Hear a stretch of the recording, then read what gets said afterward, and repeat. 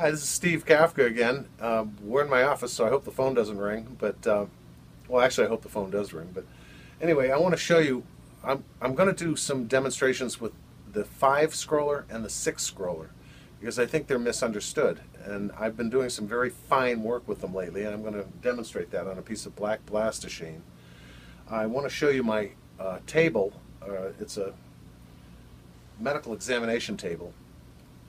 I keep a small container of mineral spirits. This is an old tuna fish can. I use we save them. And then this is a tomato can. I just left the label on so you can see what it was. I keep lacquer thinner in here, non-automotive lacquer thinner, hardware store lacquer thinner. I buy all my thinners from Home Depot. They're convenient. You can buy them at Lowe's or Ace Hardware. It doesn't matter. I also have some Smooth Stroke, which is a gloss flow enhancer and a fisheye, fisheye eliminator. And this is my brush oil. I keep stir sticks and everything else I could need up in here. Tweezers. I have a new thing that uh, I just started selling called a pry paddle that you open the can with, but I don't use cans, and you can stir it with the other end. Um, and then a pair of tweezers and all my pencils. All my brushes, the stripers are here. My lettering brushes and uh, script liners are here. Pretty much anything to do anything I want. But I'm going to start with the larger size today. I'm going to start with the number six and do a design, a, a, typical design in my style, the Kafka style. I'm going to lay out a grid. You all have seen the grid. If you haven't, you should see it. And uh, an Omnichrom pencil because they don't melt when it's hot in Arizona or any other hot climate or warm climate. So without further ado, I'm going to, um, and I use blue paper towels because they don't have lint. We're going to lay the grid out. We do all of our uh, vertical lines first, and then we line up the dots and do the horizontals. You get a perfect one inch grid every time. This is my palette. I'm going to, for purposes of this demo, just be putting the paint directly on the palette. There's the smooth stroke going in. Give it a little stir.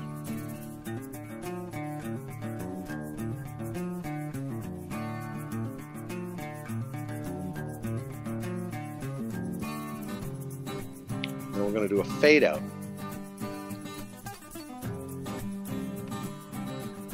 Putting the uh, mineral spirits into the paint, getting it just to the right consistency. I roll the brush slightly and I palette right up to the ferrule. That allows for the best paint flow. I'm not going to put any yellow in at this point but uh, that'll come very soon. A little test, to see what it's going to do. This is a 6, and I'm using it um, just to show people you don't need to use, always use the fine pieces. Now I'm going to do the center stroke.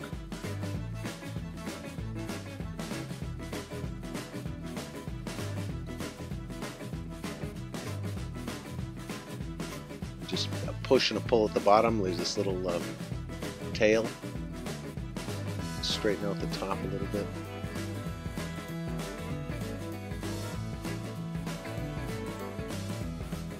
I'm going to go left side.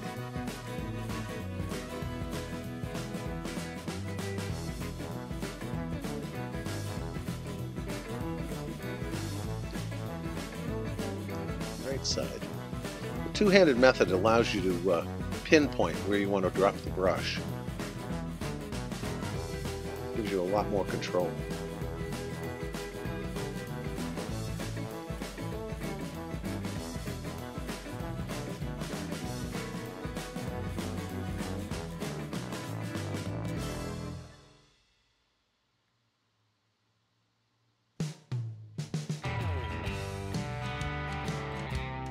Basically putting down a, a design that I'm going to work out from uh, it gives you something to hang the rest of the design on, much like I refer to it as wrought iron with vines growing on it. This is called the backstroke. I come all the way up, not spinning the brush. The other side, and I'm watching my grid points on both sides so that I get it uh, as close as possible. The push I want to elongate this design a little bit.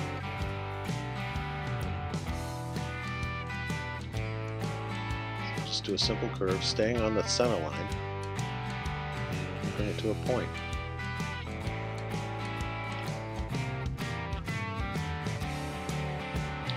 Now I want to add a little weight this color.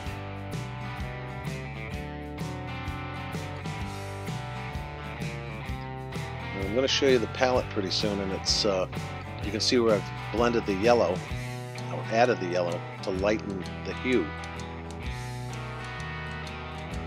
You'll see here's the, the first color variation.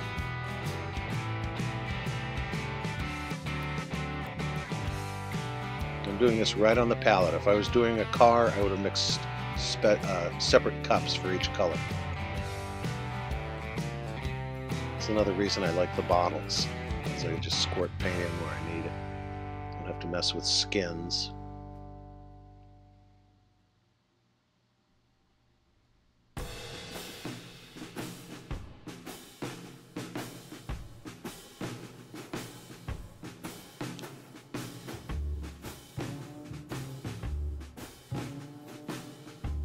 If you're doing a vehicle or a motorcycle, you'd go around the whole vehicle or motorcycle with the first color. by the by the time you got around to the second color, the first color would have enough tackiness so that you could just go right over it and not get a, a run, or pull the color out. Continue with that second color and bring it down into that point.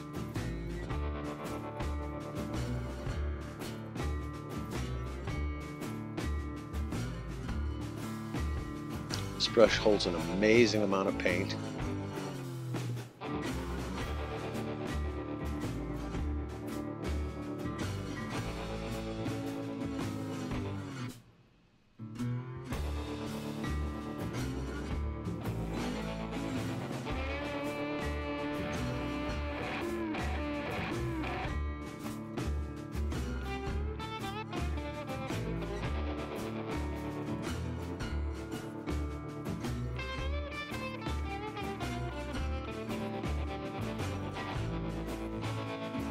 Third color.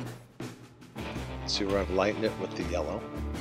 I use a chrome yellow. It seems to be more versatile than yellow or, I mean, uh,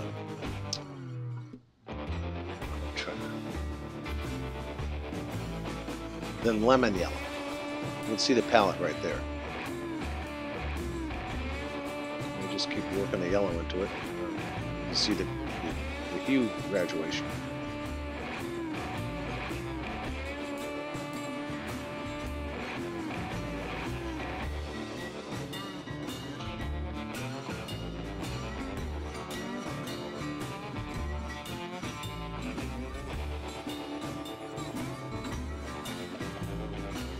I can't urge you enough to try a couple of these larger size brushes, the 6 and the next one is going to be on the 5. They're, they're so much fun. Exactly the same configuration as a 3 or a 0 or a 1. It's just bigger. Holds a lot more paint. You can make the designs much, much bigger it gives you that option.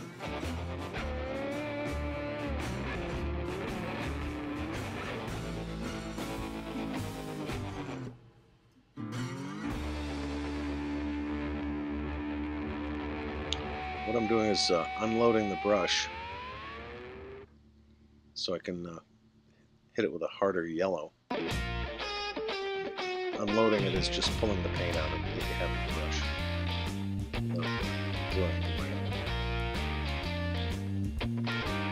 See, this hue is much lighter.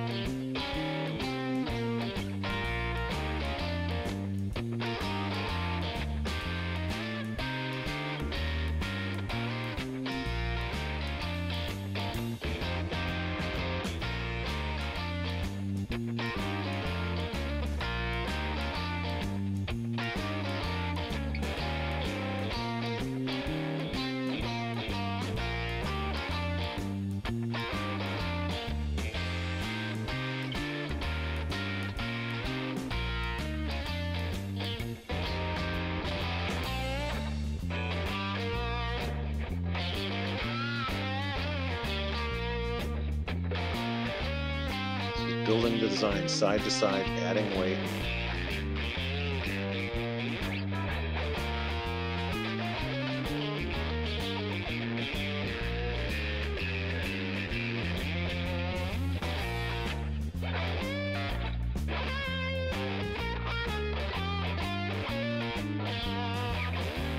Into the yellow.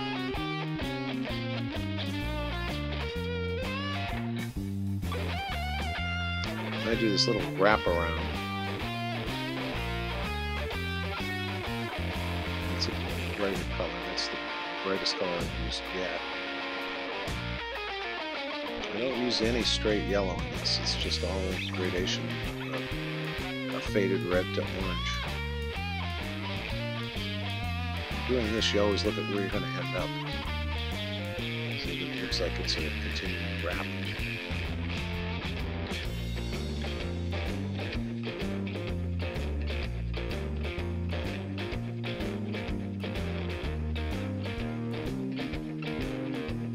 Do these videos to inspire you to try all the different brush sizes that you make. They'll all perform equally well. Your synthetic and natural hair. You must clean the sizing out of the brush before you use it.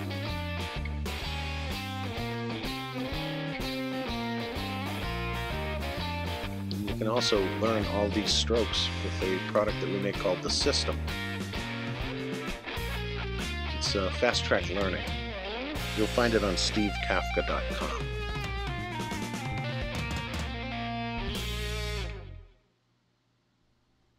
And I'm also uh, available if you have questions. I want you to uh, have some success at this because it's, from my point of view, it's one of the greatest art forms I've ever been involved in.